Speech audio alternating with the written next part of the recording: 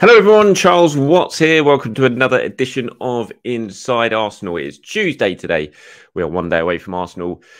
I was going to say entering the uh, Carabao Cup, but they did actually enter it back, got a bye, didn't they? So they're, of course, in the third round tomorrow night against Brentford at the Brentford Stadium. Mikel Arteta will be speaking later today at London Colney, 3.30 p.m. UK time. By the time you're watching this, he might well have already had his press conference. So we'll hear some more from him ahead of that game against Brentford, get the latest from him terms of some injury and team news, which we will talk about uh, in this show. We've got some questions and comments from you guys at the end, as always, as well. And just to remind you, I am recording soon with James Benge. We're doing Inside Arsenal extra time tonight. So that's going to be a longer episode, more in depth. We'll talk about the derby, of course. We'll look ahead to this weekend against Bournemouth.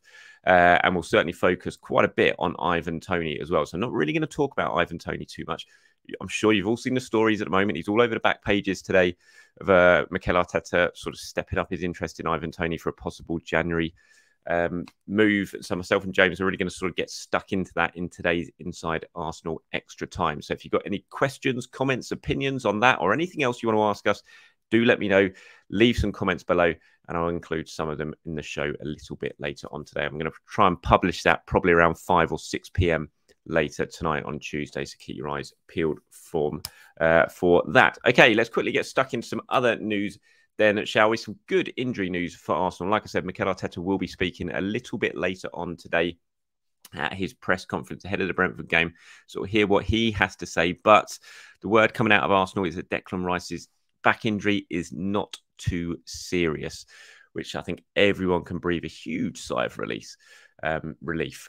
Sorry, I think obviously the frustration of the result on Sunday has certainly sort of, I think, made a lot of people forget about Declan Rice's injury and how much of an impact that had. I'm convinced, had Declan Rice been on the pitch, that Arsenal wouldn't have drawn that game at the weekend. I think they would have all gone on and won that game. He's that important to Arsenal.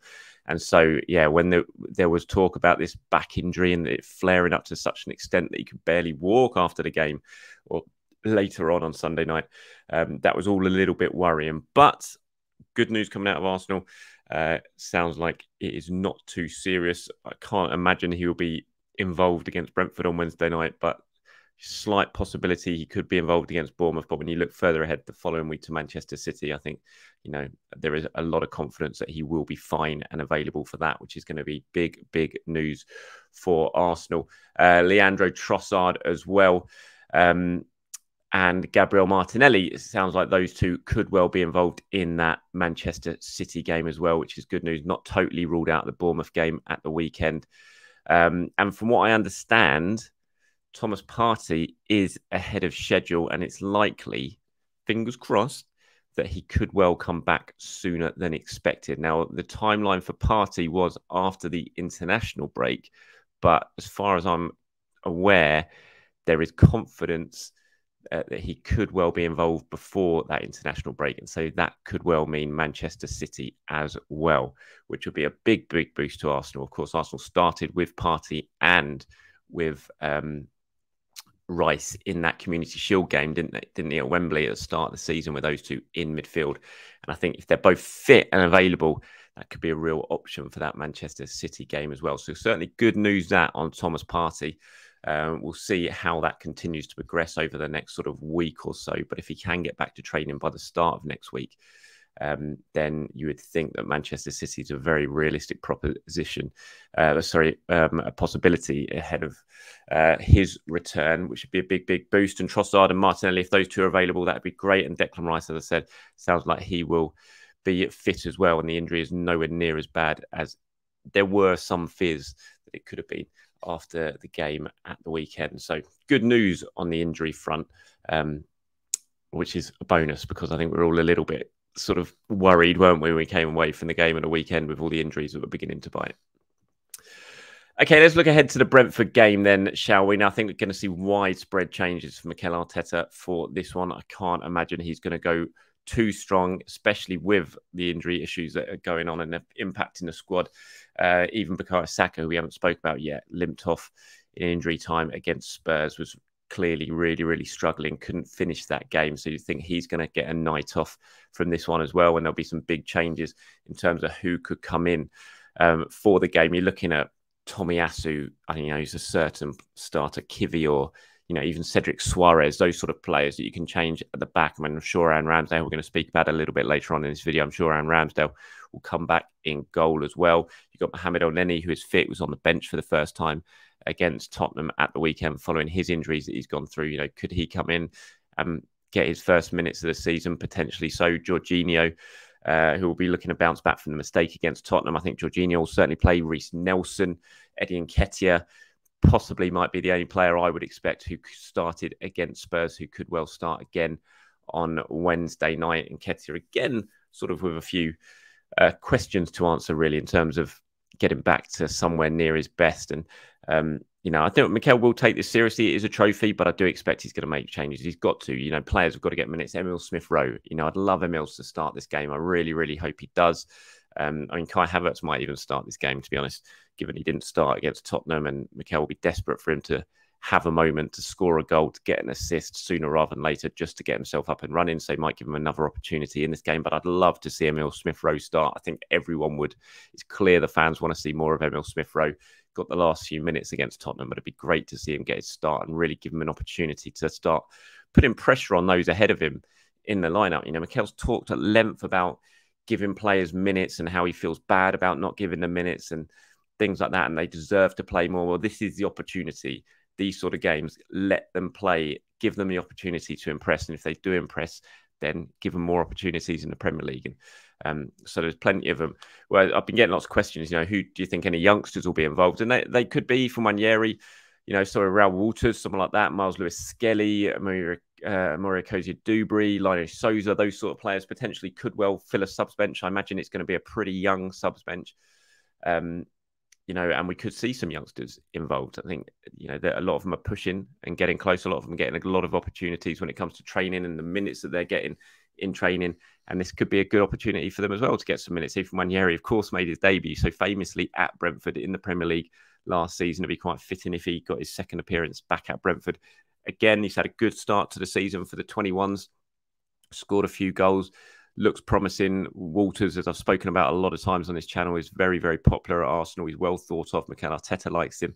Um, given, you know, if, maybe if you got Tomiyasu as left back, you could play Walters at right back. You could start him against Brentford. So that's one certainly to keep an eye out, I think. But let me know what you guys think. Who would you be starting?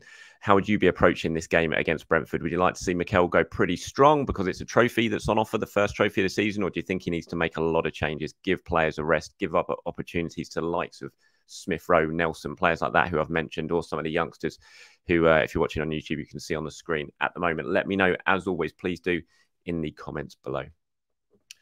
Okay, before I get to a few of your comments, I just wanted to touch on. I, I almost didn't want to talk about it because it was such rubbish, but I just I feel quite strongly about it. Jamie Carragher's comments at the weekend, sort of having a go at Ramsdale or, or mocking Ramsdale almost for applauding David Raya's save at the weekend. Um, I just thought was so out of order and just, you know, you almost there's lots of criticism going on about the Arsenal goalkeeper situation and all that, and people are looking at it and focusing on it, and you know, to almost suggest that a player is doing that not because he wants to do it, but because he knows the cameras are on him. I just think it's really, really out of order. Even if it was a kind of jokey comment, if you didn't see it or hear it, Carragher said when the cameras showed Ramsdale sort of applauding um, David Raya's save again from Brennan Johnson, that it, Carragher said something. It was like it's like something you see at the Oscars when someone who hasn't won the Oscar is the camera flicks to them and they start sort of applauding because they have to, but really they don't want to. And that's what he was saying for Aaron Ramsdale. And it just really annoyed me. I just was really out of order because A, he has no idea if that is the case at all. And I'm sure it's not. And, you know, Aaron Ramsdale's taken to social media. These clearly, if you're watching YouTube, you can see these pictures. They're clearly um, in response to that. He's posted a picture of him celebrating. Um, the one on the left is Mark Travers when he was at Bournemouth for Ramsdale. He was competing with Travers for the first, for the number one spot. And Travers made three penalty saves in a League Cup game. Um, and the video and the picture here is Ramsdale coming charging out to celebrate with Travers for making those saves, even though he was competing for him for number one. And so it's a clear response here from Ramsdale to Carragher's comments. And the other one's him see celebrating Reiss Nelson's goal and just showing how he just loves to celebrate, whether he's on the pitch or off it. That's just the type of player he is. And I just thought Carragher, it was just really stupid comment. It really, really was, and not for the first time. The pair of them, him and him and Gary Neville, it seems like you come constantly bringing up what some of the stuff that they're saying. But yeah, I thought that was really, really stupid. And I saw someone, I'm not sure who it was. I think it was a former Bournemouth player, sort of standing up again for Ramsdale on um on social media and mentioning this Mark Travers incident, and saying it's just the type of player he is. You know, I've played with Ramsdale, and this is the type of player he is. And, you know, Carragher just doesn't really, just doesn't have a clue. Even Aaron Ramsdale, dad, I think, took took to social media to have a go at it. So I think some of these pundits and commentators they really do need to think before they uh, before they talk about some of the stuff that they do. Okay, quickly before I move on and uh, end today's episode, some comments and questions for you. There's lots of them here, so I've bunched these ones together in response to the weekend and the reaction to it. Gunnar Coop says, Charles, we can't keep conceding two goals at home. It's as simple as that. We're starting to give away two goals at home in the middle of last season. It doesn't look like stopping this year. Rye doesn't look like an upgrade on me. Uh, Ramsdale, me, and Eddie playing 90 minutes in mid game is going to work. Um, Mandalubeka. It says it's fine margins in football. Two errors and four points dropped. One in Fulham from the corner, one Spurs. Without these two errors, would be also be top. Selection issues wouldn't be a matter. Charlie says post mortem since Spurs seems to be all about our need for a striker. While I agree we can upgrade Jesus and Nketiah, the main issue is our defending at home. Six goals in four home games, not good enough. This isn't new either. Last season we conceded far too many goals at home. That's the immediate issue that needs to be resolved. Players seem to be more switched on and focused away from home. So I'll bunch these all together because it's all very much the same. It's talking about errors and silly mistakes at the back, and that's what's costing Arsenal. And it is, you know, I spoke a lot about um, how I do think Arsenal need another option as a forward this season. But as I've said many times, they've just got to cut out doing stupid things at home. You know, they haven't conceded away from home this season in the league. Yet at home, they're conceding all over the place. They're just making these silly, silly errors. And although they weren't great at the weekend, they comfortably win that game if you don't just make silly errors at the back like they did and give goals away. And they've got to stop doing it. It's really, really vital that they do it because they can't keep seeing, you know, you score two goals at home against Tottenham, you should win that game. End of. But if you're going to concede two, you're not going to. And if you're going to, you know, concede two against Fulham, two against Tottenham. You've got Man City coming up. You know, you just got to be so switched on at the back. You cannot keep giving goals away at home, especially totally avoidable goals. It's really, really important. So, as everyone says here, you know, obviously, I can understand, and I spoke about it at 11th yesterday, how a striker is, you know, it, it needs to be in the conversation in terms of moving Arsenal forward and giving Mikel Arteta another sort of option off the bench or from the start that he can have up front. But at the back, defensively, just stop doing silly things because it's mad. I look at some of the performances from the defenders at, in these games. Like I thought Saliba was brilliant against Spurs. I thought Gabriel was great as well. And I thought they were against Fulham. They played really well. But st- it's still two goals being conceded because around them, silly mistakes that they can't deal with because the mistakes have been made, individual errors are just costing Arsenal. And it's um it's something they've absolutely got to sort out. Here's one from John who says, With all our injuries, it's time for our depth players to stand up and be counted. Mikel said as much in his press conference after the match. If they step, don't step up and perform, then we'll slide down the table. As for challenging for the title, so Liverpool, Spurs, and Brighton, plus we have teams behind us that are growing in confidence, we really need to stop taking our foot off the gas. We have a goal or two. Look at what Newcastle did at the weekend. That is what we should be aiming to do in every match, like City do. I'm not sure you can be aiming to score eight goals in every match, but I, I absolutely get your point there. Although City, to be fair, after they went down to 10 men, against um, whoever it was at the weekend, Forest, wasn't it? was, I was quite surprised at how they sat back in that game um, for basically the whole of the, the, second half. But what City are doing at the moment, which Arsenal aren't doing, is they are keeping clean sheets. They are not conceding. Since Pep made that switch tactically uh, during the sort of second half of last season, basically started playing with four centre backs at times, they've really, really stopped leaking goals. And when you do that, when you've got the quality they've got going forward, they're always going to keep winning, which is what they're doing at the moment. And that's what Arsenal aren't doing because they're conceding silly goals that they're dropping points to Fulham and Tottenham, which they should never be dropping, given they scored two goals themselves at home. Here's one from the sexy Lady. says, meltdown by Arsenal fans yet again. I'm a lifelong gooner. As far as I'm concerned, this had nothing to do with Arteta. We missed clear cut chances that would have changed the game. Eddie and Jesus um, suggests there we had injuries and therefore players on the pitch that um, would not have had those players. Jorginho and Havertz was shocking. Arteta made subs that did not do much better. Explain what Arteta did wrong. Only thing I can think of was rather have Elneny in midfield than Havertz or Jorginho, but that is hindsight. I don't. I'd, I'd have had, I don't think you're always going to bring Jorginho on in that situation. Yes, he made a mistake, but Jorginho is absolutely the player you should be bringing on in that in that situation with Declan Rice injured. So that wasn't a mistake. My my issue with it was I just felt that moving Jesus out wide, I just didn't like. I said that yesterday. I think he played Nelson.